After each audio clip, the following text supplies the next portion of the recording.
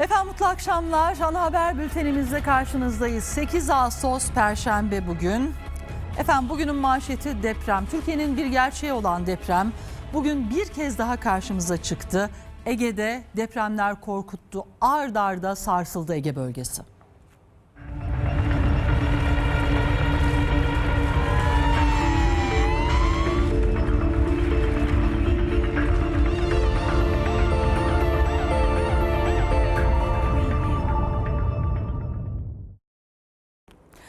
Efendim az önce de söyledik Türkiye'nin gerçeği önce bugün İzmir'de 4,8 büyüklüğünde bir deprem oldu. Sonra Denizli'den bir deprem haberi geldi. Tam ne oluyor Ege'de derken o şiddetli 6 büyüklüğündeki hepimizi korkutan ikinci deprem yine Denizli'de meydana geldi. Çevre illerde, ilçelerde hissedildi bu deprem sayın seyirciler. Bazı binalarda işte gördüğünüz gibi hasar var ama asıl sevindirici haber neyse ki can kaybı yaşanmadı bu depremlerde. 27 kişi yaralandı. Binalar şiddetle sallandı. Kapalı mekanlarda bulunanlar panikle kendini dışarı attı. Ege bölgesinde meydana gelen depremler korkuttu. Görüyor musun? Bak bak bak bak bak. Kan bak. Görüyor musun? Nasıl ortalık yıkıldı. Kızımla beraber evde oturuyorduk. Koltuk altında gitti geldi langır langır bir se- sesler hissettim. Kızım dedim deprem oluyor dedim. Dışarı çıktık. Önce İzmir'in Seferihisar ilçesi açıklarında 4,8 büyüklüğünde deprem oldu. Ardından Denizli'nin Bozkurt ilçesinde şiddetli sarsıntılar yaşandı. Bozkurt'taki depremlerden ilki 4,2 büyüklüğündeydi. Bundan 6 dakika sonra ilçe daha şiddetli bir depremle sarsıldı. Saat 14.25'te 6 büyüklüğünde bir deprem daha meydana geldi. Yerde yok. Mutfak dolabı yerde. Vallahi kendimizi nasıl dışarı attık bilemedik ya. Çok korktuk ya. Depremde en büyük zararı Tutluca Mahallesi gördü. 80 yapıda hasarlar oluştu. Bozkurt ilçesinde belediye ve emniyet müdürlüğü binaları da hasar nedeniyle boşaltıldı. Depremi hissettik. Bayağı şiddetliydi. Ee, zaten spor merkezimizdeydik. Çocuklarımız da vardı. Hemen güvenli noktaya taşımaya çalıştık onları. Dışarı çıkardık.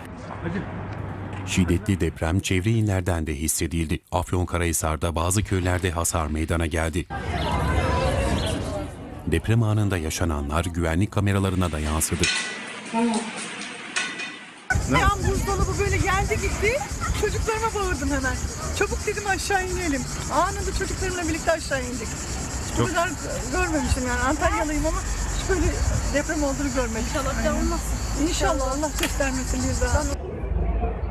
Depremde can kaybı yaşanmadı. Sadece kerpiç ve eski yapılarda hasar oluştu.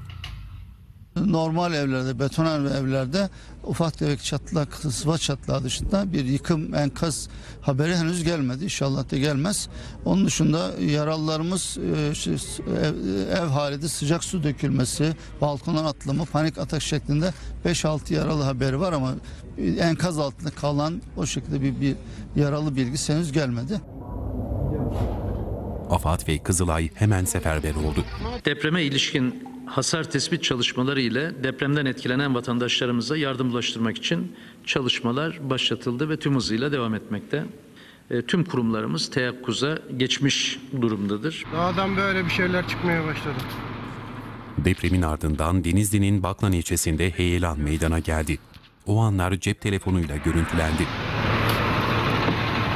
İlk depremin ardından çok sayıda artçı sarsıntı kaydedildi. Ana şoktan sonra e, depremler yani artçı depremler 2-3 hafta daha devam edebilir. Süre olarak işte dediğim gibi 2-3 hafta içerisinde bunlar yavaş yavaş azalarak devam edecektir. Zaman zaman büyüklükleri de artacaktır yani. Genelde e, bir birim daha düşük olmaktadır. Örneğin işte ana şok 6 büyüklüğünde ise yani 5 büyüklüğünde e, artçı deprem görmemiz çok doğaldır yani. Bölgede hasar tespit çalışmaları devam ediyor.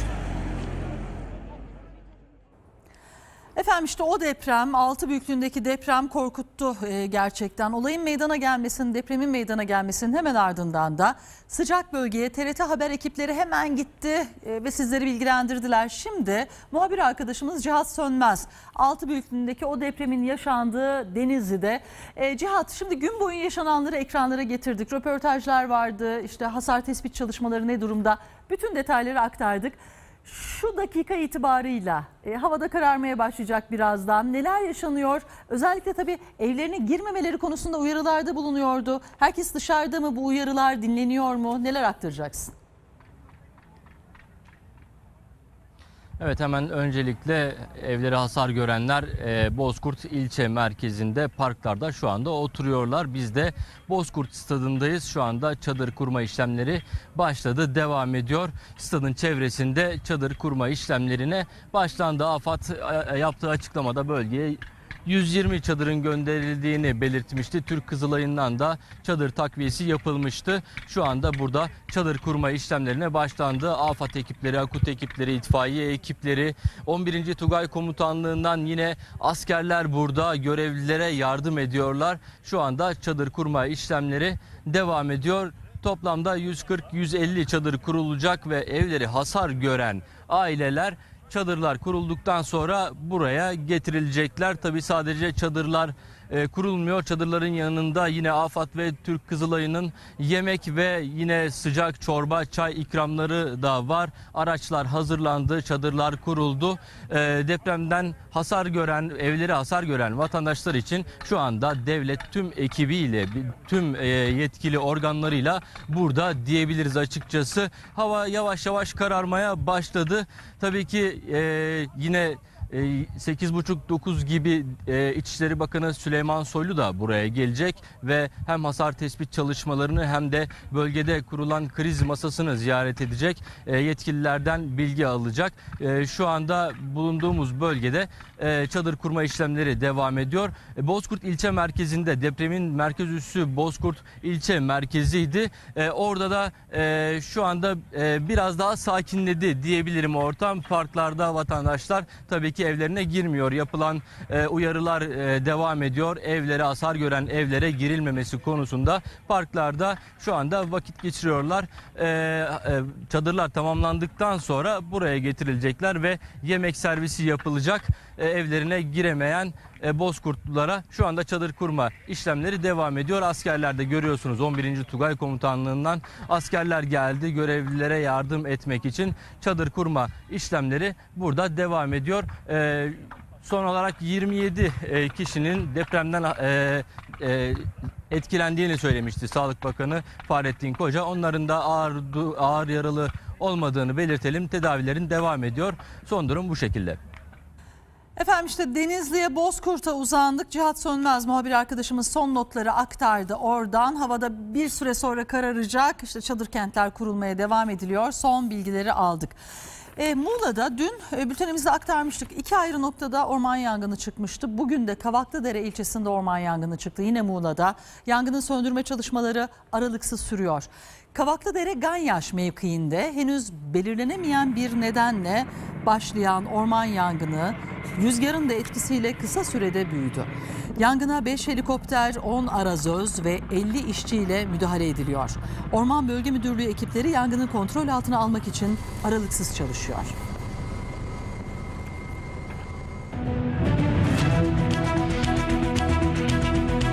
Amerika Birleşik Devletleri ile mutabakat sağlandı. Fırat'ın doğusunda barış koridoru oluşturulması için harekete geçildi. Ancak korkuya kapılan teröristler kazdıkları tünelleri güçlendiriyor.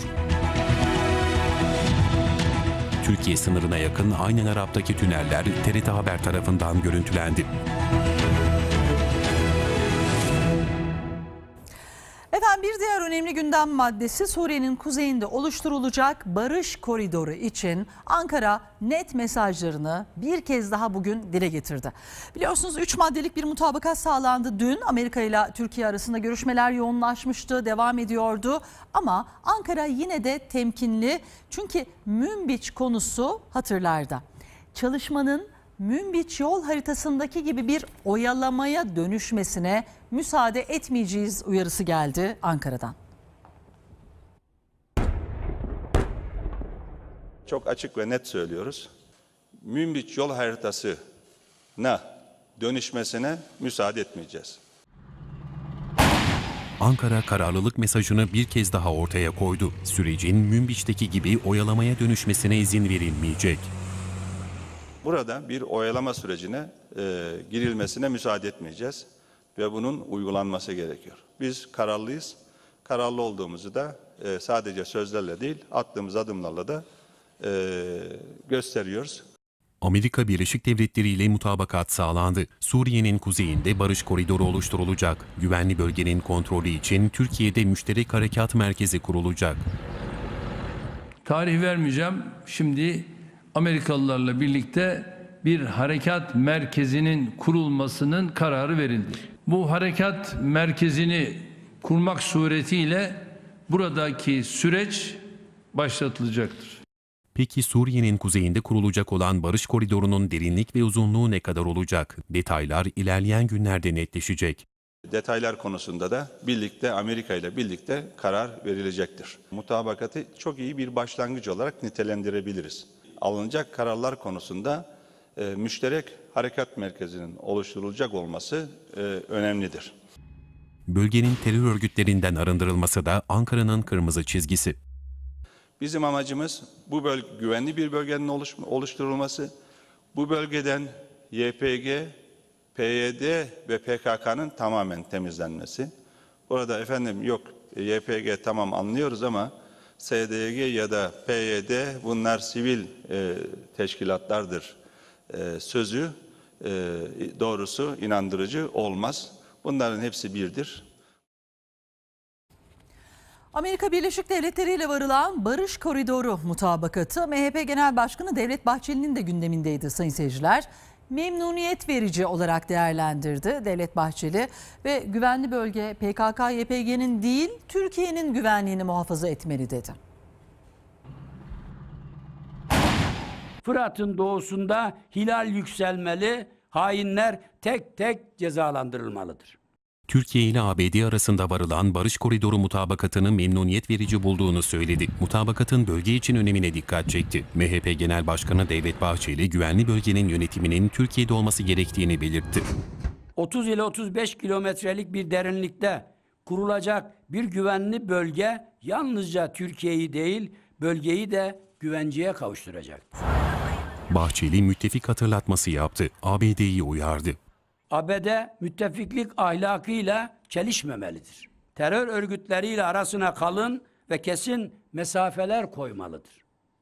YPG'ye silah ve cephane sevkiyatından mutlaka vazgeçmeli, yanlıştan dönmelidir.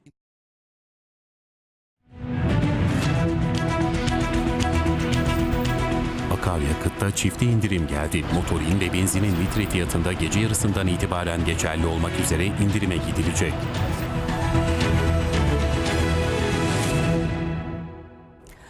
Efendim işte dünden beri önemli gündem maddesi demiştik. Amerika ile mutabakat sağlandı. Suriye'nin kuzeyinde güvenli bölge oluşturulacak. Terör örgütü YPG PKK'nın kontrolündeki Aynel Arap'tan kaçıp Fırat Kalkanı bölgesindeki çadırlarda yaşayan aileler yeniden umutlandı. Onlar şimdi evlerine dönecekleri günü gelecek bayramı evlerinde geçirmeyi bekliyor. Yıllardır zulme uğradılar. Evlerini bırakıp çadırlarda yaşamaya başladılar. Burası Fırat Kalkanı bölgesinde yer alan Cebel Köyü. Terör örgütü YPG PKK'nın kontrolündeki Aynel Arap'ta yaşayan binlerce ailenin sığındığı yer.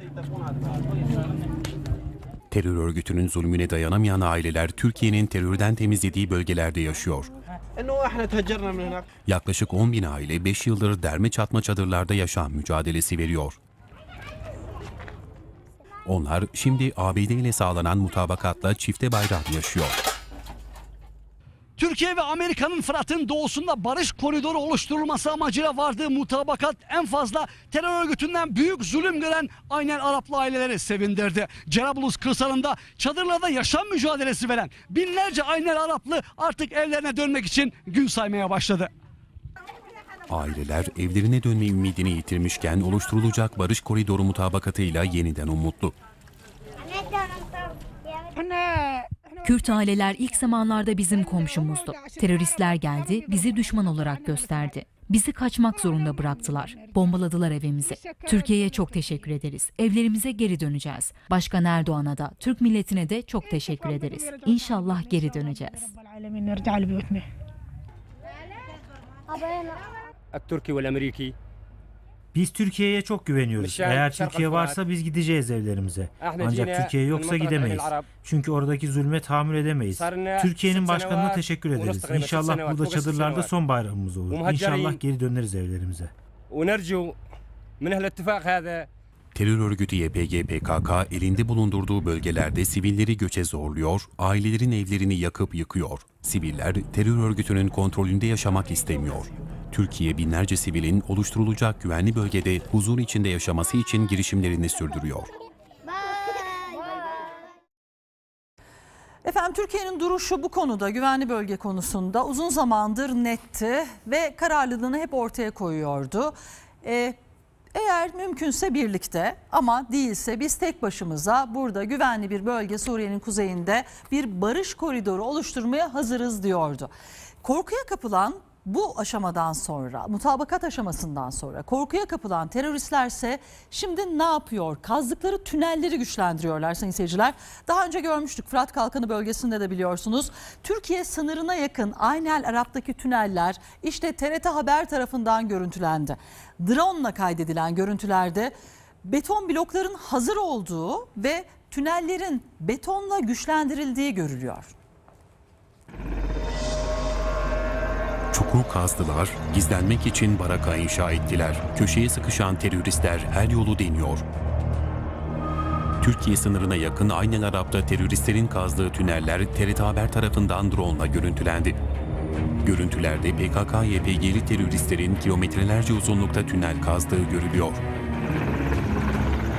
Beton tünel blokları da inşaat için hazır bekliyor. Türkiye'nin Fırat'ın doğusundaki terör varlığını bitirmekte kararlı olması bölgedeki YPG ve PKK'lı teröristleri tedirgin ediyor. Terör örgütü yine aynı yöntemlere başvuruyor. Aynel Arap'ta ve kırsalında kilometrelerce uzayan tüneller ve betonlarla güçlendirilmiş hendekler yapmaya devam ediyor. TRT Haber daha önce de teröristlerin kazdığı tünelleri görüntülemişti. Bölgedeki mevzilerin betonlarla güçlendirildiği görülüyor. Görüntülere bir teröristin dolaştığı da yansıyor. Etrafı gözlemliyor. Ardından küçük mağaraya benzer sığınağına giriyor. Amerika Birleşik Devletleri ile sağlanan mutabakat sonucu Suriye'nin kuzeyinde terörden arındırılmış güvenli bölge oluşturulacak. Barış koridoruyla teröristlerin tünel ve mevzileri tahrip edilecek. Suriyelilerin oluşturulacak güvenli bölgede huzur içinde yaşamaları için her türlü ilave tedbir alınacak. Efendim bugün güvenlik güçlerinin dikkati ve başarılı çalışmaları olası bir faciayı önledi. Şanlıurfa'da bombalı eylem hazırlığındaki terörist kız kıvrak yakalandı. Dediğimiz gibi olası bir facia olmadan engellendi neyse ki. Hakkari Çukurca kırsalında ise iki terörist etkisiz hale getirildi.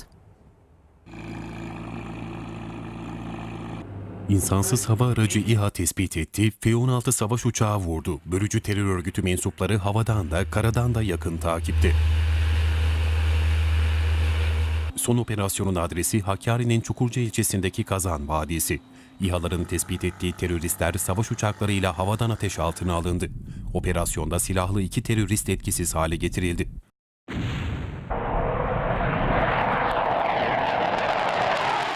Şanlıurfa'da ise polisin başarılı operasyonu olası bir facianın önüne geçti. Durumundan şüphelenilen bir kişi takibe alındı. Polisleri fark edince kaçmaya çalıştı. Ancak yakalanmaktan kurtulamadı. Haşimiye Meydanı'nda yaşanan olayda teröristin kaçarken attığı poşetten patlayıcı düzeneği çıktı. Gerekli önlemleri alan polis yolu trafiğe kapattı. Düzenek bomba uzmanı ekiplerce kontrollü olarak imha edildi.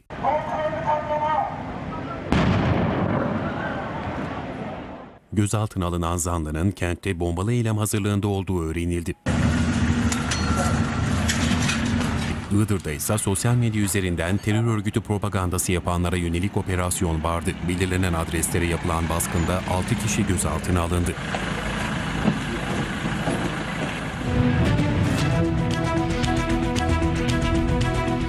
Akdeniz'de sondaj gerilimi sürüyor. Yunanistan ve Rum yönetimi ABD ve İsrail'e Atina'da masaya oturdu. Türkiye ise Enerji Bakanı Dönmez ve Milli Savunma Bakanı Akar'ın Kuzey Kıbrıs Türk Cumhuriyeti ziyaretiyle kararlılık mesajı verdi.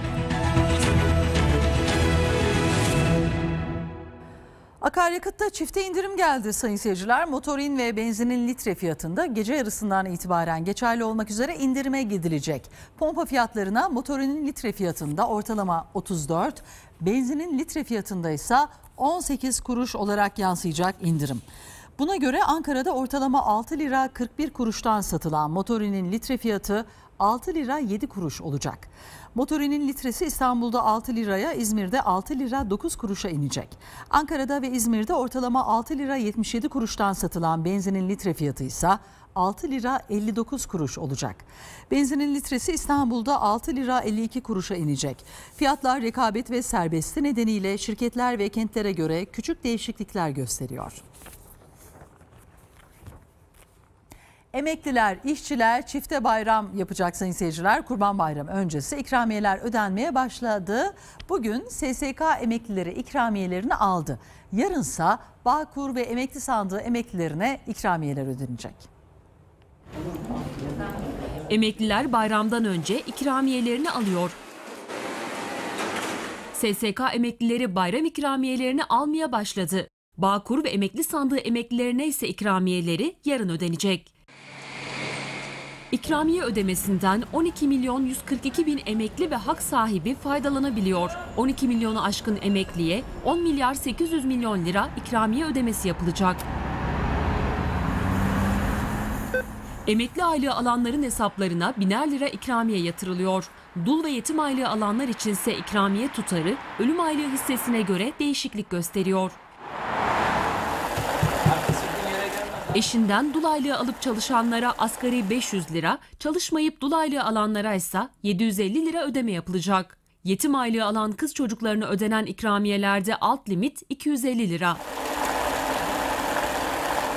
Bayramdan önce kamuda çalışan işçiler de ikramiye alacak. Bir maaş tutarındaki ilave tediyenin ilk yarısı yarın verilecek. Kamu işçileri ikramiyelerinin ikinci yarısını 13 Aralık'ta alacak.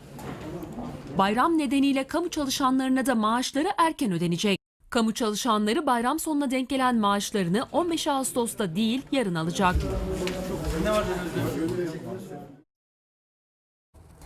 Bayram tatiline artık çok az kaldı sevgili izleyiciler. Bayramı memleketlerinde ya da tatil beldelerinde geçirmek isteyenler yola çıkmaya devam ediyor. İstanbul'da otobüs biletleri şimdiden tükendi. Firmalar ek seferlerle talebi karşılamaya çalışıyor. Hava yolunu tercih edenler İstanbul Havalimanı'nda da yoğunluk oluşturdu. Bayrama sayılı günler kala otogarlar hareketlendi. Birçok firmada biletler tükendi. Arabalar oradan boş geliyor. Mecburi kurtaramıyor. Mecbur onu yapıyoruz. Otobüslerde zor yer bulduk tabi. Sadece bugüne vardı. Cuma, cumartesi, pazar yok. Otobüsler full. Bazı yolcularsa şanslıydı. Allah son güne bulabildim. Yaklaşık bir haftadır arıyoruz. Firmalar ek seferleri hizmete soktu. Biletler zaten tükenmiş. ilave servisler de yapılıyor. Hiçbir yolcu açıkta kalmayacak. Yalnız tek isteğimiz otogarlardan yolculuk yapsın. İstanbul'da bayramda 2500 otobüs seferi düzenlenecek. Bu da yalnızca otogarlardan 800 bin kişinin İstanbul'dan ayrılacağı anlamına geliyor. Bayram tatilini yurt içi ve dışında geçirmek isteyenler İstanbul Havalimanı'nda yoğunluk oluşturdu. Havalimanındaki arama noktaları, kontuvarlarla pasaport noktaları önünde kuyruklar meydana geldi. Biletimi bir ay önceden almıştım. Hani o yüzden bir sıkıntı olmadı. Marmaris'e gidiyorum ailemin yanına. Kurban Bayramı'nı kutlayacağız. Türk Hava Yolları da artan talebi karşılamak için bayram süresince yurt içine 59 ek sefer koydu. Sevgili izleyiciler, kurban pazarlarında da bir yandan tabii pazarlıklar yaşanıyor. O çetin pazarlıklara ilişkin çok ilginç bir haberimiz var sırada. Kayseri'de kurbanlık almak için başlayan sıkı bir pazarlık alıcıya pahalıya patladı. Ee, biz beden dilinde işte tokalaşmadan bahsederken e, kurban pazarlığında olduğu gibi böyle eli ketenpereye alır gibi, mengeneye alır gibi alıp sıkıp sallamayın aman deriz. Bakın işte öyle bir pazarlık yaşanmış ve 45 dakika sürünce bu pazarlık alıcının parmakları kırılmış. 10.900 10.900 yapacağız. Kurban pazarlarının vazgeçilmez görüntüsüdür pazarlık. 400 kilo eti var ya. Ancak Kayseri'de şimdiye kadar eşi benzeri görülmemiş bir olay yaşandı. Besici Orhan Kaya istemeyerek de olsa pazarlığa tutuştuğu müşterisinin elini kırdı. Koca Sinan ilçesi Oymağaç Kurban Pazarına gelen Mustafa Ceviz, beğendiği kurbanlık için besici Orhan Kaya ile pazarlığa tutuştu. Hacı amcamız geldi, baktı hayvanın sağına soluna dişine baktırdı bize hepsini beğendi. Her şey fiyat e, fiyata geldi. Fiyat 14.500 lira istedik. Hacı baba 12.500 lira verdi. Hani biz de bekliyoruz ki 13.000 13.500'e falan bazalık bitecek. Ee, 12.550 bile vermedi. 12.500 dedi. Bu 45 dakika süren bir pazarlık sonucu aracılar falan girdi. Sıkı pazarlık alıcının parmaklarının kırılmasına kadar vardı. Hadi gör hadi. Ha? Elimi kurtardım. Para para verme bundan başına. 45 dakika sonra hayırlaştık. Ee, tabii hayırlaştıktan sonra bayağı çetin geçen bir pazarlık sonu Hacı Baba'nın elleri kırıl, kırılmış parmakları. Ee, sonra da öğrendim. Yarım saat sonra bir saat sonra öğrendik. Alıcının gönlünü almaksa yine besiciye kaldı. Helallik istedik. O da bizden fiyat indirimi istedi 1500 lira kadar bize kabul ettik. Dediğini aldı 12 bin, 14.500 lira taneyi 12.500'e aldı ama parmaklar kırılmasaydı daha iyi olurdu. Parmakları kırılan alıcının eli sargıya alındı. Hadi gör hadi. Ha? Efendim Kabe yeni örtüsüyle Arefe günü buluşacak. O buluşma öncesinde son hazırlıklar Mekke'de yapılıyor. TRT Haber ekibi de hazırlıkların yapıldığı o fabrikayı görüntüledi. İşte her yıl sadece bir örtünün hazırlandığı fabrikadan izlenimler. Saf ipek kumaşa altın ve gümüş tel tel işleniyor. Ayetler özenle nakşediliyor. Artık son hazırlıklar. Kabe yeni örtüsüne Arife günü kavuşacak. Her yıl hacı adayları Arafat'tayken örtü değiştiriliyor. Yılda bir kez değiştiriliyor. Şu anda Kabe'nin örtüsünün yapıldığı fabrikanın içerisindeyiz. 200 kişi oldukça özel bir çalışma sonucunda Kabe örtüsünün hazırlanmasına emek veriyor. İtalya'dan beyaz renkte getirilen ipekler fabrikada yıkanarak siyaha boyanıyor. Boyanan iplikler bobinlere sarılarak kumaşa dönüştürülmesi için örme bölümüne gönderiliyor. İplikler burada kuşak bölümü sade, diğer bölümleri ise desenli olacak şekilde örülüyor. Üzerine altın ve gümüşten ayet ve dualar nakşediliyor. Bu işlem için 120 kilogram altın ve gümüş kullanılıyor. Kabe örtüsünün hazırlanması için çok titiz bir çalışma yapılıyor. Bir örtü 8 ay ve 11 ay arasında tamamlanıyor. Özellikle el işçiliği dikkat çekiyor. Dört parçadan oluşan örtü 47 metre uzunluğunda ve 657 metrekare büyüklüğünde. Toplam ağırlığı ise yaklaşık 700 kilogram.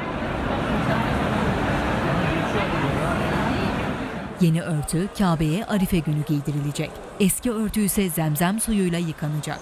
Daha sonra parçalara ayrılacak. Sergilenmesi için bazı İslam ülkelerine gönderilecek. Ayrıca bazı devlet başkanlarına da hediye olarak örtünün parçaları gönderilebiliyor.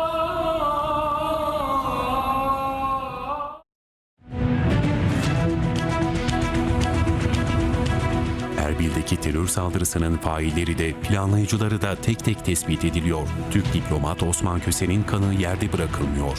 Saldırının planlayıcılarından iki terörist MİT ve TSK'nın ortak operasyonuyla nasıl etkisiz hale getirildi?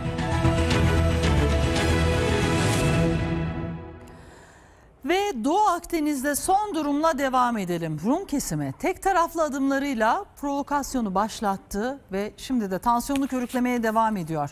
Rumlar gerilim, Kuzey Kıbrıs Türk Cumhuriyeti ise barışçıl çözümde ısrarlı. bir oldu bittiyle haklarının gasp edilmesine asla göz yumulmayacaktır. Hedefimiz adada barışı, istikrarı ve huzuru kalıcı bir araya getirmektir. Doğu Akdeniz'deki enerji denkleminde Rumlar tek taraflı adımlarında ısrarlı. Kuzey Kıbrıs Türk Cumhuriyeti ve Türkiye ise barışçıl çözüm arayışında kararlı. Hedefimiz adada barışı, istikrarı ve huzuru kalıcı bir araya getirmektir. Bütün gayretimiz, bütün amacımız temel düşüncemiz budur, hareket noktamız budur. Rumlar ve onların destekçisi Yunanistan'ın bölgede hak gaspı çabaları yıllar önce başladı. Doğu Akdeniz'de gerginliği körüklemek için her yolu denediler. 2003'te Rum kesiminden ada çevresinde tek taraflı münhasır ekonomik bölge ilan etme adımı geldi. Ardından ortak tatbikatlarla tansiyon yükseltildi. Bölgedeki 3 trilyon 300 milyar dolarlık enerji rezervi ülkelerin iştahını kabarttı. Rum kesimiyle Yunanistan'ın faaliyetlerine İsrail, Mısır, Lübnan, İtalya, Fransa ve ABD de destek verdi. Tek taraflı bu adımlara Kuzey Kıbrıs ve Türkiye'nin tepkisi gecikmedi. Ankara hem kendinin hem de Kıbrıs Türklerinin haklarını korumakta kararlı. Garantör ülke olarak Türkiye Cumhuriyeti Devleti, Kuzey Kıbrıs Türk Cumhuriyeti'nin verdiği ve kendi Türkiye Cumhuriyeti'ne ait deniz yetki alanlarımızda bulunan bölgelerdeki faaliyetlerimizde başladık, devam ediyoruz, devam edeceğiz. Bunun için Barbaros Hayrettin Paşa gemisi sismik araştırmalara başladı. Sonra Fatih gemisi bölgeye gönderildi. Ardından Yavuz. Oruç Reis sismik araştırma gemisi ise arama ve sondaj için bu ay sonunda yola çıkacak. Kuzey Kıbrıs Türk Cumhuriyeti Rum kesimine kaynakların çıkarılmasına ilişkin bağımsız ortak komite kurulması teklifiyle de gitti. Ancak Rumlar uzlaşmaz tutumlarını sürdürdü. Ankara her fırsatta üst düzey ziyaretlerle bölgedeki faaliyetleri yakından izliyor. Enerji ve Tabi Kaynaklar Bakanı Fatih Dönmez sondaj çalışmalarını bizzat yerinde inceledi. Milli Savunma Bakanı Hulusi Akar da adayı ziyaret etti. Amaç barışçıl çözüm. Efendim az önce de söylediğimiz gibi Güney Kıbrıs Rum yönetimi ısrarla Doğu Akdeniz'e yönelik provokatif eylemlerini sürdürüyor. İşte o adımlardan, provokatif eylemlerden biri. Amerika, İsrail, Yunanistan ve Kıbrıs Rum yönetimi Enerji Bakanları Atina'da bir araya geldi.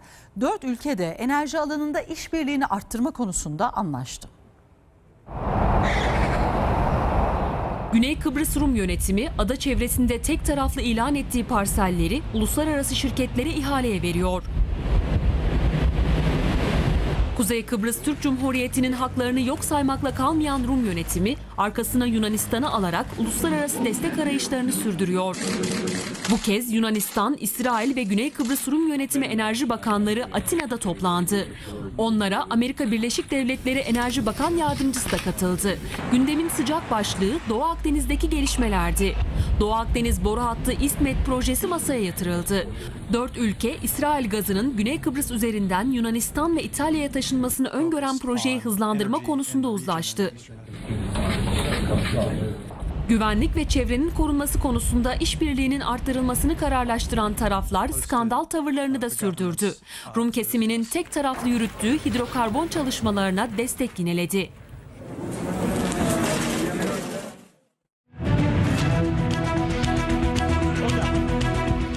Kenya'da bir kadın milletvekili ulusal mecliste yapılan oturuma 5 aylık bebeğiyle katıldı. Oturum başkanı milletvekilini neden zorla dışarı çıkardı? Sayın seyirciler, Erbil'deki terör saldırısının failleri de planlayıcıları da tek tek tespit ediliyor. Türk diplomat Osman Köse'nin kanı yerde bırakılmıyor. Daha önce tetiği çeken yakalanmıştı. Ardından planlayan bazı isimlere yönelik operasyon düzenlenmişti. Ve son olarak yine MIT istihbarat topladı. Türk Silahlı Kuvvetleri operasyonu başlattı. Saldırının planlayıcılarından iki terörist daha etkisiz hale getirildi. Türkiye, Erbil'deki Türk Başkonsolosluğu çalışanı Osman Köse'nin şehit edildiği saldırının peşini bırakmıyor. İstihbarat topladı, Türk Silahlı Kuvvetleri yerlerini tespit etti. 30 Temmuz'da Irak'ın kuzeyinde Gara bölgesinde ortak operasyon düzenlendi. Erbil saldırısının planlayıcılarından iki terörist daha etkisiz hale getirildi. Teröristlerden biri mavi kategoride aranan Botan Kod adlı Hacı Kurhan. 2002'de örgüte katılan Hacı Kurhan, elebaşı Murat Karayalan'ın en güvendiği üyelerden. Teröristin Suriye'nin Haseke ve Kamışlı bölgelerinde faaliyet gösterdiği belirlendi. Diğer terörist ise Kendal Kod adlı Metin Hakkı. PKK'ya 2014'te katılan teröristin birçok eylem gerçekleştirdiği tespit edildi. Ayrıca geçen yıldan bu yana Hacı Kurhan'a bağlı olarak faaliyet yürüttüğü ortaya çıktı. Hain teröristlere düzenlenen operasyonun fotoğrafları da paylaşıldı. Türk Silahlı Kuvvetleri ve MİT, 24 Temmuz'da da Erbil saldırısının azmettiricisi olduğu belirlenen PKK'lı terörist Erdoğan Ünal'a Kandil'de operasyon düzenlemişti. Irak'ın kuzeyinde iki ayrı operasyonda da iki planlayıcı vurulmuştu. Saldırıya ilişkin soruşturma Irak makamlarınca sürdürülüyor. Saldırıyı düzenleyen 3 teröristten Mazlum Dağ ve Muhammed Bisıksız yakalanmıştı. Olayla bağlantılı 6 kişi de gözaltına alınmıştı. Rusya'da bir askeri üste patlama meydana geldi. Bir roket motorunda test yapılırken gerçekleşen patlamada iki kişi öldü, altı kişi yaralandı. Olay sonrası Rusya Beyaz Deniz'in bir kısmını bir ay süreyle ulaşıma kapattığını duyurdu. Rusya bir hafta içerisinde ikinci kez bir askeri üste yaşanan patlamayla sarsıldı.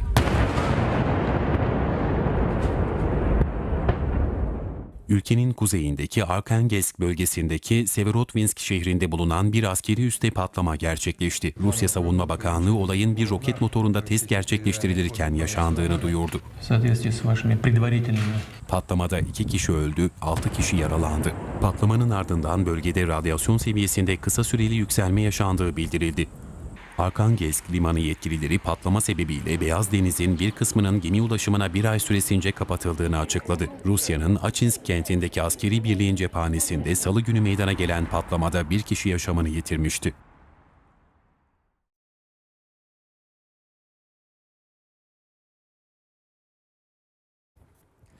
Kenya'da bir kadın milletvekili ulusal mecliste yapılan oturuma 5 aylık bebeğiyle katıldı sayın seyirciler. Ancak oturum başkanı milletvekilini zorla dışarı çıkardı. Kenya'da Kwale eyaleti milletvekili Züleyha Hasan ulusal meclise gitti. Yanında 5 aylık bebeği de vardı. Oturuma katıldı. Ancak oturumu yöneten başkan bu durumu hoş karşılamadı. Züleyha Hasan'dan bebeğiyle dışarı çıkmasını istedi.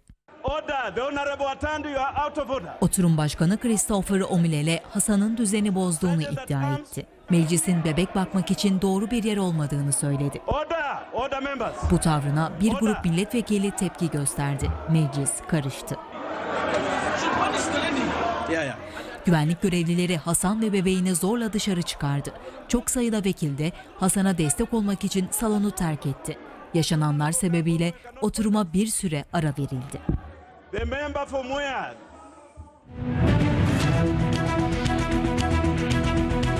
Korkutma, hediye ve bulunmaz fırsatlar. Bunlar siber dolandırıcıların tuzağa düşürme yöntemleri. Basit önlemlerle dolandırıcılardan korunmak mümkün.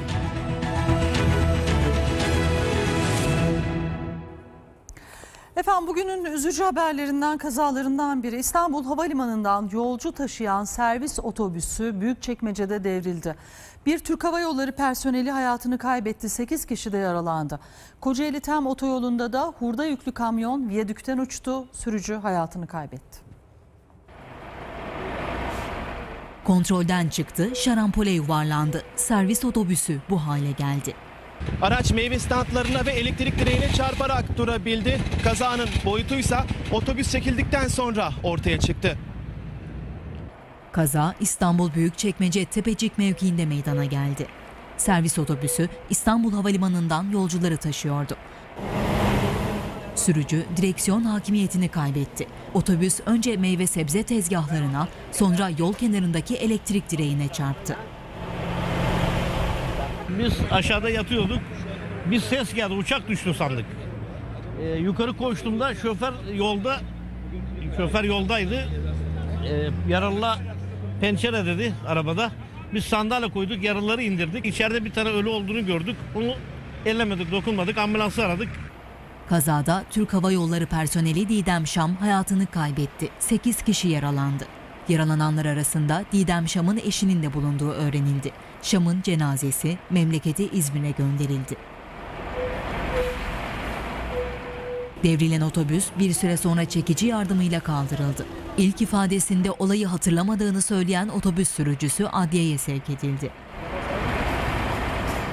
Bir kazada Kocaeli Tem otoyolunda meydana geldi. Lastiği patladığı için emniyet şeridinde ilerleyen otomobile kamyon çarptı. Zülfü Kekoz idaresindeki hurda yüklü kamyon Hamza Dere Viyadüğü'ne gelindiğinde bir araçta kazaya karıştı ve sonrasında bariyerleri kopartıp işte burada Hamza Dere'nin içerisine uçtu. Kazada Zülfü Kekoz hayatını kaybetti. Otomobil sürücüsü hafif yaralandı. İstanbul Kemerburgaz'da da hafriyat kamyonu bariyerlere çarpıp devrildi. Kazada iki kişi yaralandı. Sayın seyirciler İstanbul'da bir kişi arsasından geçtiği iddiasıyla yolu trafiğe kapattı. Böyle beton bloklar döktü, şerit çekti. Gerekçe olarak mahkeme kararının yerine getirilmemesini gösterdi. Beton parçaları yerleştirdi, şerit çekti, yolu trafiğe kapattı. İstanbul Esenyurt'ta yaşayan Serdar Saygıver, arsasının bir bölümünün yol ve park yapımı sırasında kullanıldığı iddiasıyla ilçe belediyesi hakkında dava açtı. Benim bu arsam 12.750 metrekareydi. Bu arsam işte daha öncesinde imara falan her şey açıktı. Ama bu park ve yol yapıldıktan sonra hakkımı ben istediğimde bu sefer de arsam komple imara kapattılar. Şu an arsamın 2750 metrekaresinde yol ve park var. 5 yıldır mahkemelik. 5 yıldır boyunca mahkemeye gidip geldik ve mahkeme neticesinde bu arsada yolu kazandık. Davanın sonuçlanmasının ardından zararın karşılanmadığını öne sürdü ve farklı bir yönteme başvurdu. Adnan Menderes Caddesi'nin bir kısmını, Kuruçeşme Caddesi'nin ise tamamını trafiğe kapattı. Kendi kafamıza göre de iş yapmadık. Her şey hukuka uygun. Ama yolu tamamen kapatmadık ki bu sefer de buradaki geçen yolu kullanan vatandaşlar mağdur olmasın diye. İstanbul Büyükşehir Belediyesi yerinde çözüm ekipleri ilçe belediyesiyle arsa sahibi saygı veri uzlaştırmak için çalışma başlattı. Korkutma, hediye verme ya da bulunmaz fırsatlar. Bu saydıklarım siber dolandırıcıların tuzağa düşürme yöntemleri sayın seyirciler. Uzmanlar insani zaafların kullanıldığına dikkat çekiyor ve basit önlemlerle dolandırıcılardan korunmanın mümkün olduğunu belirtiyorlar. Kredi ve kimlik bilgilerini kesinlikle paylaşmamak altın kural. Zor tahmin edilecek bir şifre ve kısa mesaj doğrulaması da güvenliği arttırıyor. Sahte çağrı merkezleri, kopya alışveriş siteleri. Dolandırıcılar hem sanal dünyanın boşluklarından hem de insanların zaaflarından yararlanıyor. İstanbul'da jandarmanın düzenlediği operasyonda yakalanan şebekenin 48 bin kişinin banka ve kimlik bilgilerini çaldığı ortaya çıktı. Vurgunun boyutu 43 milyon lirayı buldu. Sermayeleri kiralık bir daire, sahte çağrı merkezi ve sosyal medya. Özellikle çağrı merkezleri de insanların bazı zaaflarını bildiğinden dolayı gerek korkutmayla gerekse e, bazı hediye, çekiliş ve bir takım fırsatları insanlara sunduklarını iddia ederek insanların kredi kartı bilgilerini e, çalıyorlar. Tuzağa düşmemek için kredi kartı ve kimlik bilgilerini paylaşmamak altın kural. Bankalar kendi müşterilerini aradıklarında dahi kredi kartı bilgilerini işlem sırasında sadece tuşlamalarını istiyorlar ve kesinlikle bankadaki müşteri temsilcileri dahi kendi o bankanın müşterisi bile olsanız sizden kredi kartı bilgilerinizi ve bütün bilgilerinizi istemiyorlar. Bunun için biraz uyanık olmamızda e, fayda var. İnternetten alışveriş yaparken de dikkat etmek gerekiyor. Bilgisayardan ve mobil cihazlardan yaptığımız alışveriş işlemlerinde mutlaka her işlemde bankacılık şifremizi e, çok e, zor bir şekilde ta- çok zor tahmin edecek bir şekilde oluşturacağız ve oluşturulan bu şifreyle beraber şifremizi her seferinde yeniden gireceğiz. Çünkü şöyle düşünün işte bilgisayarınız çalınabilir, telefonunuz çalınabilir. O an içerisinde e, siz telefon e, ve bilgisayarınız çalındığı andan itibaren anında kredi kartı ve banka bilgilerini kapatamayabilirsiniz veya bunun farkında olmayabilirsiniz ve mutlaka iki adımlı doğrulama yani cep telefonumuza gelen SMS doğrulamasını da mutlaka hayata geçirmemiz gerekiyor. Bir diğer korunma yöntemi de piyasa araştırması. Ederinin çok altında bir bedel isteniyorsa dolandırıcılık riski artıyor.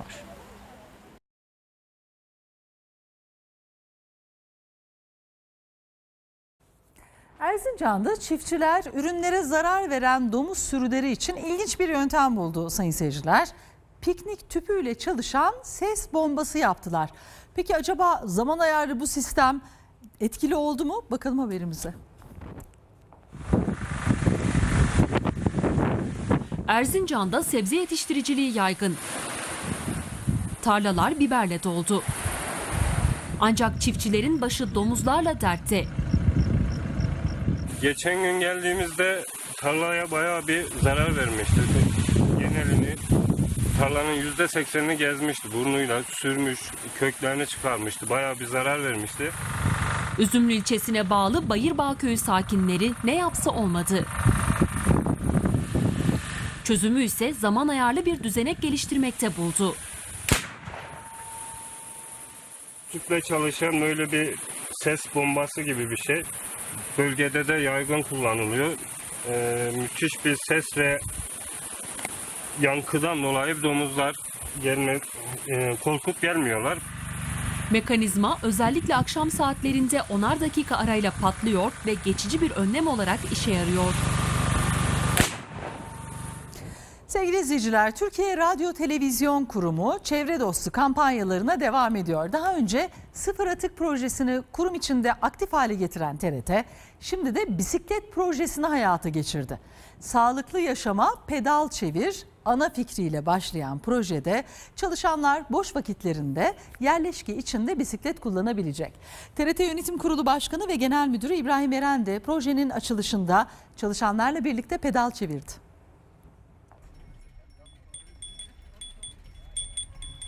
Türkiye'de pek çok ilkin öncüsü olan TRT bir ilke daha imza attı. Çalışanlarını sağlıklı yaşama teşvik etmek amacıyla paylaşımlı bisiklet projesini hayata geçirdi. modern çağın, yaşadığımız çağın en büyük hastalıklarından biri, sorunlarından biri hareketsizlik. Akşama kadar ofislere e, hepimiz tıkılıp kalıyoruz. Bu ruhen de bizi etkiliyor, fiziken de bizi etkiliyor. Bunu aşmak için e, kampüs içerisinde paylaşımlı bisiklet uygulamasını başlattık. TRT Yönetim Kurulu Başkanı ve Genel Müdürü İbrahim Eren de projenin tanıtımında çalışanlarla birlikte bisiklet parkurunu turladı. TRT çalışanları bundan böyle yerleşke içerisindeki ulaşımlarını bisikletle sağlayacak. Bunun için sağlıklı yaşama pedal çeviriyoruz sloganıyla yola çıkıldı. Bisiklete özel yollar oluşturuldu. Hayata geçirilen proje kapsamında TRT yerleşkesi içinde 7 istasyon kuruldu. Proje kapsamında paylaşımlı bisikletler çalışanların kullanımına sunulacak. Belki yaşımız ilerledi ama hafif çocukluğumuza da döndüğümüzü söyleyebilirim yani. Böyle bisikletin serisine oturunca iyi oldu. Gerçi şu anda kıyafetim pek buna uygun değil ama artık izleyicilerimiz mazur görsünler. İstasyondan bisikletleri alan personel gitmek istediği yere en yakın istasyona bisikleti park edebilecek. Bahçenin içerisinde e, boş vakitlerinde gezmek beni çok mutlu eder diye düşünüyorum kendi adıma.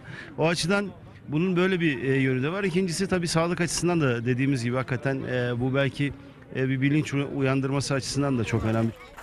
Proje ile bisiklet kullanımına ve sağlıklı yaşama dikkat çekilmesi hedeflendi. O Türkiye'nin en iyi senaristlerinden biriydi. Yeşilçam'ın unutulmaz filmlerini yazdı. 13 yıl süren TRT'nin efsane dizisi Bizimkiler onun kaleminden çıktı. Usta senarist, oyuncu, yönetmen ve yazar Umur Bugay İstanbul'da son yolculuğuna uğurlandı. Katillerde ne yaptın? Ben bir şey yapmadım da katil gözünü şişirdi Sedat Bey'in. Bizimkiler, yazlıkçılar, çöpçüler kralı, kapıcılar kralı, Hababam sınıfı. Yazdığı her dizi ve film efsane oldu. Türk sinemasının güçlü kalemlerinden Umur Bugay İstanbul'da ebediyete uğurlandı. 78 yaşında geçirdiği kalp krizi sonucu hayatını kaybeden Bugay için Üsküdar Şakir'in Camii'nde cenaze töreni düzenlendi. Sanat dünyası usta senariste son görev için oradaydı. Çok iyi bir insandı, çok iyi bir patrondu, çok iyi bir yapımcıydı. Emekçinin hakkına son derece riayet eden, kul hakkı yemeyen, fevkalade iyi bir senarist, köklü bir tiyatrocu. Çok uzun seneler çalıştık. Ee, kendisi bir e, patrondan, bir yapımcıdan daha çok dostumuz, arkadaşımız, kardeşimizdi. İkindi vakti kılınan namaz sonrası Bugay'ın cenazesi Karacaahmet mezarlığında toprağa verildi. 1941 yılında Ankara'da doğan Umur Bugay sosyoloji mezunuydu. Toplum bilimci gözüyle dönemin Türkiye'si ve insanlarını senaryolarında güçlü bir şekilde yansıttı. Ben dedim yazacağım. Yazarak hayatımı kazanacağım. Kapıcılar Kralı, Çöpçüler Kralı, Davacı, Düttürü Dünya, Rıfat Ilgaz'ın Hababam sınıfı kitabından 1975 yılında sinemaya uyarlanan film senaryolarının ilkinde de onun imzası vardı. Sahnenin o dozunu yutmasaydık, sahne sevincini yaşamasaydık. Türk televizyon tarihinin en uzun dizisi Bizimkilerin 1989 yılında TRT'de gösterilmesiyle üne kavuştu. Dizi 13 yıl boyunca pazar günlerinin neşesi oldu. Müthiş senaryolar yazdı gerçekten. O diyaloglar hala hafızamızda. Umur Bugay'a Allah'tan rahmet diliyoruz ve efendim ana haber bültenimizi bu akşamda noktalıyoruz. Yarın akşam yeni ve umarız iyi gelişmelerle yine karşınızda olacağız. Sizleri de bekliyoruz. Hoşçakalın.